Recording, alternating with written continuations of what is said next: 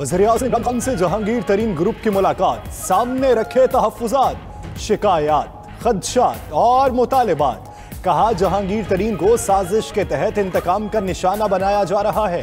मामले की तहकीकात के लिए सबक जजेस का कमीशन बनाया जाए।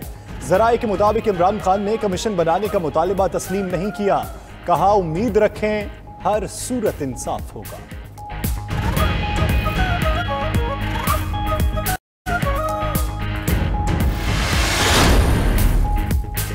इमरान खान ने जहांगीर तरीन के मामला की खुद मॉनिटरिंग करने की यकीन दहानी करा दी। राजा रियाज कहते हैं इनका ग्रुप कायम है।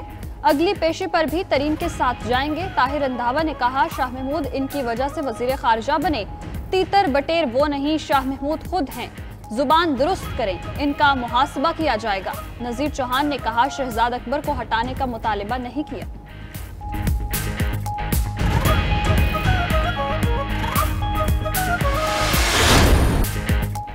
कश्मीर के हवाले से कोई साजिश हो रही है तो कामयाब नहीं होने देंगे। मरीम नवाज़ की वज़ीर आज़म आज़ाद कश्मीर राजा फारूक हैदर के साथ मीडिया से गुफ्तगु। बोली, कश्मीरियों से खुफिया रख कर कुछ लोगों में खिचड़ी पक रही है। आप खुद से कोई फैसला नहीं कर सकते।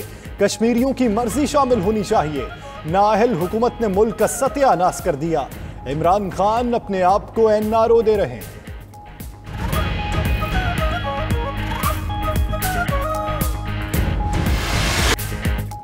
कोरोना की खौफनाक लहर तमाम तालीमी इदारों के इम्तहान मुलतवी। विफाकी वज़ीर तालीम शफकत महमूद कहते हैं, पंद्रह जून तक किसी कस्म का कोई इम्तहान नहीं होगा। ओ लेवल और ए लेवल इम्तहान अक्टूबर नवंबर में होंगे। मैट्रिक और इंटर समेत बेशतर इम्तहान जुलाई के बाद होंगे। उधर वज़ीर तालीम पंजाब मुरादराज का सूबे भर में तमाम स्कूल ईद तक बंद करने का ऐलान।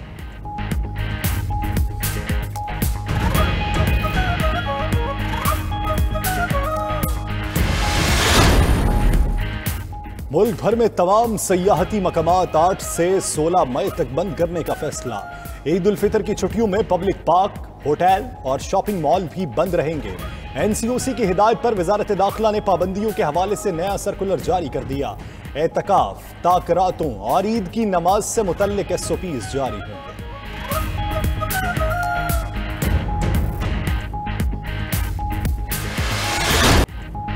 वज़ीर आज़म का कोरोना केसेस बढ़ने पर इजहार तशवीश। काबीना इजलास में कहा, एहतियात ज़रूरी है। एस ओ पीज पर हर सूरत अमल कराया जाए। मुल्क में 40 साल से जायद उम्र वालों की वैक्सीनेशन का अमल शुरू कर दिया। शुरा को ब्रीफिंग। काबीना ने कोरोना वैक्सीन की रिटेल कीमत मुकर करने की मंजूरी दे दी। फवाद चौधरी कहते हैं, मुकम्मल लॉकडाउन से पहले मुकम्मल तैयारी करना होगी। ईद पर पाँच छुट्टियाँ जेर गौर हैं।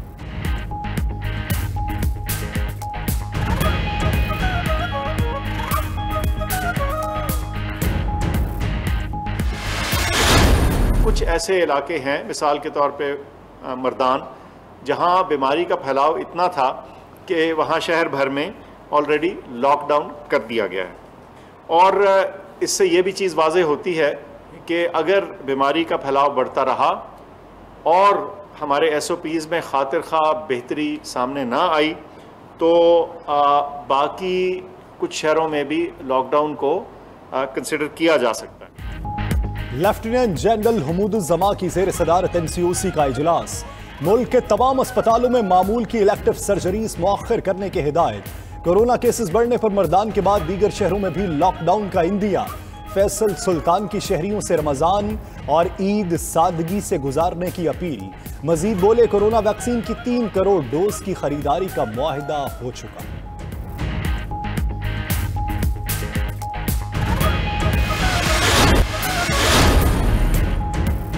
मुस्लिम लीग नून के M N A Javed Latif गिरफ़्तार। रियासत मुखालिफ बयान के केस में अबूरी जमानत खारिज होने पर गिरफ़्तार किया गया। गिरफ्तारी के खिलाफ लाहौर हाईकोर्ट में दरखास्त दायर। शहबाज शरीफ का जावेद लतीफ की गिरफ्तारी पर इजहार मजम्मत। बोले, सियासी रहनुमाओं की गिरफ्तारी से हुकूमत की बोखलाहट ज़ाहिर होती है।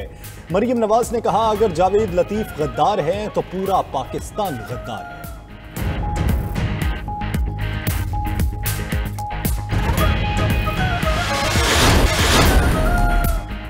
अपोजिशन लीडर शहबाज शरीफ की अपने वकला के घर आमद। आज़म नजीर तारड़ अमजद परवेज और अताउल्ला तारड़ की काविशों और पेशा वराना काबिलियत को सराहा। कहा, उनकी मेहनत रंग लाई और इंसाफ का हसूल मुमकिन हुआ। शहबाज शरीफ ने सेनेट का रुकन मुंतखब होने पर आज़म नजीर तारड़ को मुबारकबाद भी दी। नून लीग के सदर अपने पीएसओ मुराद खान के घर भी गए। मुश्किल वक्त में साथ देने पर शुक्रिया अदा किया।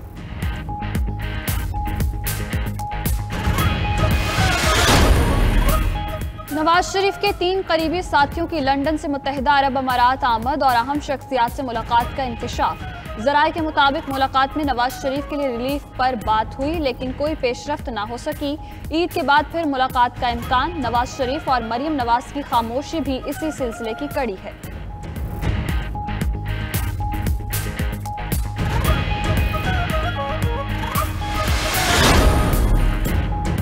नए पाकिस्तान में टैक्स चोरों के लिए रिलीफ और तनख्वाहदार तबके के लिए महँगाई है। बिलावल भुट्टो की हुकूमत पर तनकीद। कहते हैं, उमरा और गुरबा के लिए अलग अलग कानून है।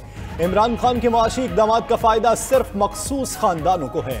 गैर मसावी मुआशी पॉलिसीज़ की बदौलत अमीर और गरीब में खलीज गहरी हो रही है।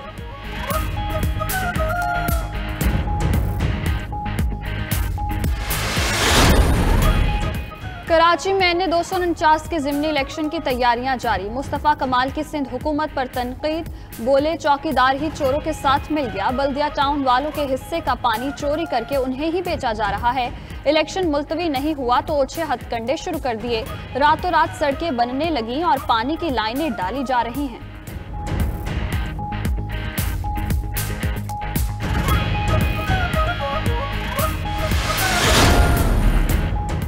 सिंध काबीना ने वाटर एक्ट की मंजूरी दे दी। सिंध बिल्डिंग कंट्रोल अथॉरिटी को डिविजनल सतह पर मुंतकिल करने की भी मंजूरी। थर कोल ब्लॉक वन में कंपनी को ज़मीन के पावर जनरेशन के लिए इस्तेमाल की इजाज़त। वजर अला ने कहा, चीनी कंपनी थर ब्लॉक वन में 660 मेगावाट के दो पावर प्लांट लगाएगी।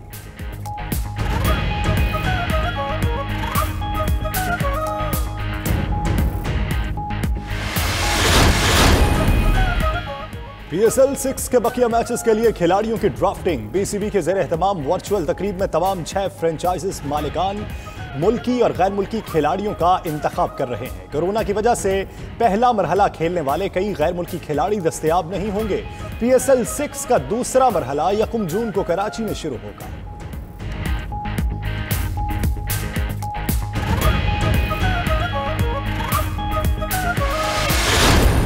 माँ बाप बुनियादी तौर पर मेरे नज़दीक, उस मौसम में बाहर की तरह हैं, जिनकी मौजूदगी में औलादें खेतियों की तरह मुसलसल ले रहा था उस खुशी का क्या आलम होगा नाजरीन? जब आपके वालदेन ने आपकी सवारी बनकर आपको खिलाया भी होगा, हंसाया भी होगा, ज़िंदगी में कई मौाक़े ऐसे भी आए होंगे, जब आपके माँ बाप ने आपके लिए अपने मुँह का निवाला बचाया होगा और वो निवाला आपको खिलाया होगा। और जुनेद इकबाल की मेज़बानी में 92 न्यूज़ की ट्रांसमिशन। राहमत रमज़ान, इफ्तार ट्रांसमिशन में माँ बाप की अजमत और शान, हकूक और फ़राइज के मौजू पर गुफ्तु डॉक्टर जावेद कराम प्रोफेसर वासिल अवैस, मुफ्ती फ़ारूक कादरी और आर्टिस्ट बबूराना की शिरकत। कारी कामरान कादरी ने तिलावत कलाम पाक मोहम्मद अली जराल ने हदिया पेश किया।